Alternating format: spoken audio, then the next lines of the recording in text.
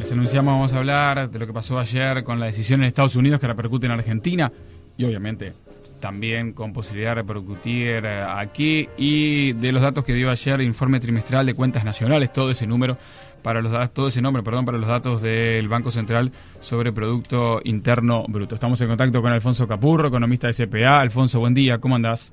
Buen día, ¿cómo les va? Bien, ¿qué se puede decir en principio de estos datos del primer eh, trimestre, tanto interanual como en comparación con el trimestre anterior?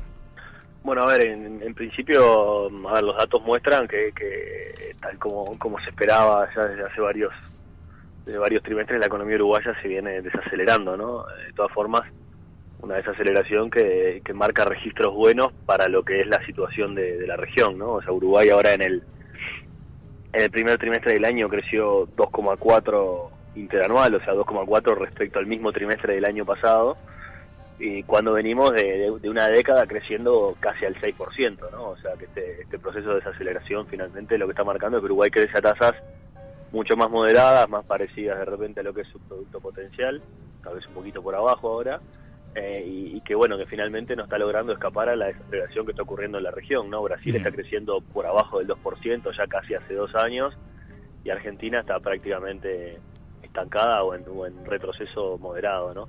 También un, elemento importante de este dato es que habíamos cerrado el año pasado con un dato de actividad económica muy, muy bueno.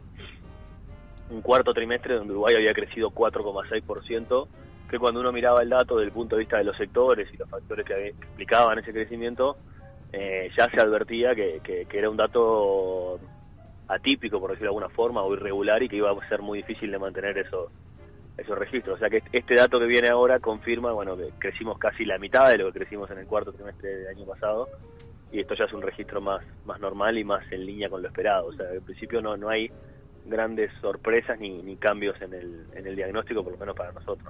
¿Y cómo se lee esa caída, digamos, en el desestacionalizado de 0,4%? Ustedes Porque el menos asusta, eh, asusta más que la desaceleración.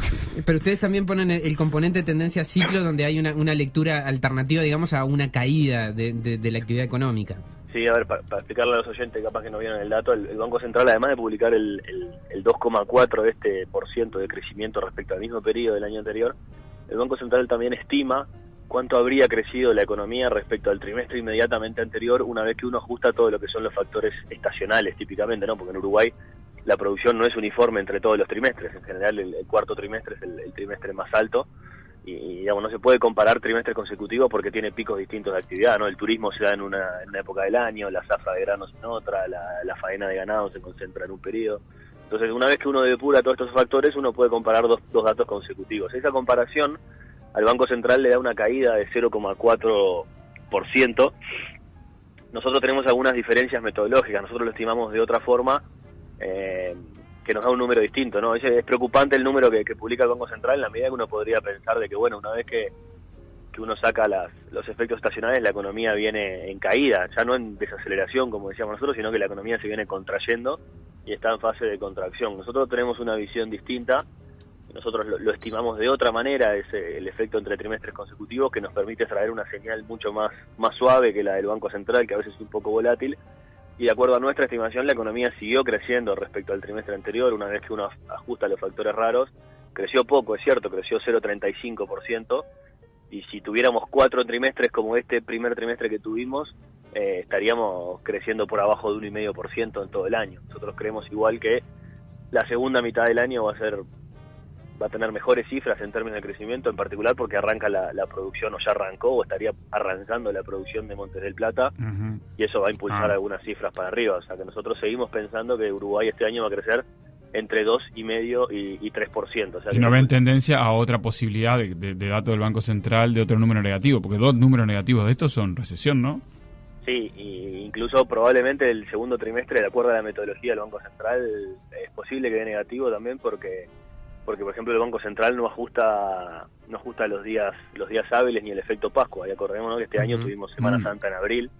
Entonces normalmente cuando cae Semana Santa la estimación del Banco Central vuelve a dar este va a dar negativo, sobre todo cuando estamos en, en tasas de crecimiento muy bajitas como la que estamos ahora. Si estuviéramos creciendo 8 o 10%, claro es otra historia, pero cuando estamos en tasas muy bajitas, en general, cuando cuando hay este cuando cae Semana Santa usualmente la estimación del Banco Central da un resultado negativo. Bien, pero esto... Nosotros, en nuestra metodología, nosotros corregimos ese efecto también y bueno, se, depura. ¿no? Claro, pero según los datos del Banco Central, entonces estamos hablando de que en septiembre podríamos tener sobre la mesa el titular de recesión técnica en Uruguay. Bueno, habrá que ver otros datos, pero es una posibilidad. La definición, la definición de, recesión no es algo que uno este no es algo que esté laudado técnicamente, ¿no? en, algunos lugares se habla de dos trimestres, en otros se habla de tres trimestres consecutivos de caída, o sea, no, no hay no hay realmente una una regla de oro. Ahí sí, un estándar general utilizado dos o tres trimestres, por ahí, van las cosas, pero no es una regla de oro. Bien, pero está bien hecha la, advertencia porque se pueden dar esos titulares, se puede dar por lo que vos decís de la semana de turismo, que exista ese dato después eh, oficial también del Banco Central. Escuchemos la preocupación que tenían ayer en la vecina orilla para tratar de que nos expliques un poco al respecto.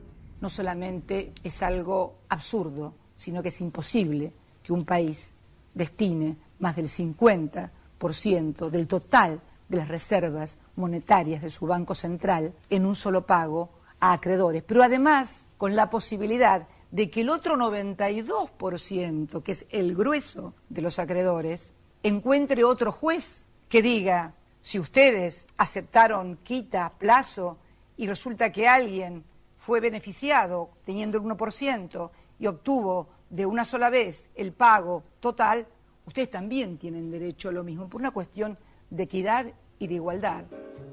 Bueno, Alfonso, el desafío es explicar un poco esta situación. Alguien nos preguntaba qué cornos son los fondos buitres. Eh, si uno escucha a Cristina, son buitres que les quieren sacar la mitad de las reservas de un saque y dejar desestabilizado a la, Argentina, mientras el otro 92% había acordado algo mucho más, por lo menos, este, llevable para la Argentina.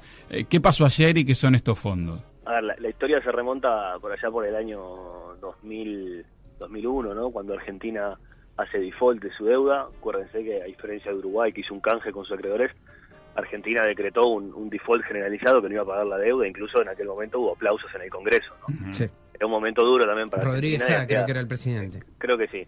Este, bueno, a partir de ahí empezó, digamos, toda la deuda cayó en, default y, y, después Argentina hizo dos, dos operaciones de canje o tres, si recuerdo bien, donde algunos acreedores si uno pasa la raya hoy, ese 92% de acreedores, como decía la presidenta, eh, se fueron adhiriendo a los canjes y quedó un, un, resto de acreedores que no que no que no se dio a las condiciones del canje, o sea, se quedó con sus bonos originales en los que Argentina nunca les pagó. Esos acreedores son los famosos fondos buitre, fueron haciendo juicios diversos. El año pasado hubo un juicio en contra que se conoció como el fallo Griesa, porque es un juez americano que se llama Griesa de apellido, que obligaba a Argentina a pagar lo que los fondos reclamaban. Argentina apeló, este, este proceso termina yendo a la Suprema Corte de Justicia y la Suprema Corte de Justicia esta semana podría haber hecho, bueno, podría haber dicho que, que Argentina tenía que atacar el fallo Griesa, que era la mala solución para Argentina, o podría haber postergado la solución o podría haber este, fallado a favor de Argentina. Y bueno, la, la realidad es que falla en contra de Argentina, entonces de, ya de, primera lo que Argentina tiene que hacer ahora es pagarle a estos fondos buitre 1.400 millones de, dólares. El problema acá es que todos los todos los, los acreedores que adhirieron a los canjes de los últimos años, había una cláusula que decía que hasta el 31 de diciembre de este año, del 2014, si Argentina le daba mejores condiciones a otros acreedores, Argentina le tenía que equiparar la oferta a, ah. todos los que habían adherido al canje. Por eso era muy importante también mm. Si la decisión de la Suprema Corte de Justicia era pateamos la pelota para adelante, lo mandamos a, por ejemplo, a una, le podría haber hecho una consulta al Ministerio de Economía americano, ¿no? Este, al Departamento de Comercio. Y se iba el 31 de diciembre. Exacto. Solamente lo que Argentina terminaba pagando en un fallo eventual en contra era los 1.400 millones de dólares. Ahora todos los demás acreedores tienen derecho, por las cláusulas que estaban firmadas en los canjes, a reclamarle las mismas condiciones. Si eso si todos van y le reclaman, Argentina, en vez de tener que pagarle 1.500 millones solamente a los buitres, tendría que, o, se habla de demandas potenciales entre 10 y 15 mil millones de dólares, cuando las reservas de Argentina hoy son 30 mil millones de dólares, de los cuales hay una parte que son depósitos, o sea, en realidad las reservas de libre disponibilidad son apenas algo más de 20 mil. Es, por eso la presidenta decía es absurdo mm. destinar más de la mitad de las reservas al pago. Pero bueno, bueno es una situación compleja para Argentina. Ese es el problema para Argentina hoy, que eh, como decís vos, Joel, es, es una situación compleja y sobre todo además a ver, eh, si uno piensa qué puede pasar con Argentina, bueno, Argentina la verdad que viene mal en términos de actividad, está prácticamente estancada hace un año y pico, está creciendo cero, con números rojos, depende si miramos estadísticas oficiales o privadas. Pero una, una novedad no menor es que este año Argentina venía logrando cierta estabilidad financiera. Habíamos hecho algunas algunas notas hace tiempo que hablamos del sinceramiento, algunos decían sincericidio de la economía argentina. Bueno, la realidad es que venían encaminando algunas cosas con algunos ajustes que, que, a nivel monetario que se venían haciendo.